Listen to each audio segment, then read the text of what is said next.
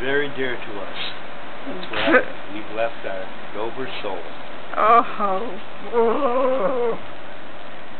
oh, oh, oh.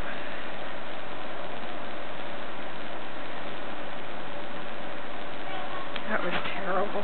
That was really, really We were driving, we never thought we'd see Dover again.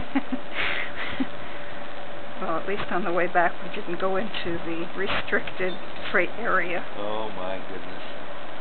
I'm gonna hang that owl over your bed.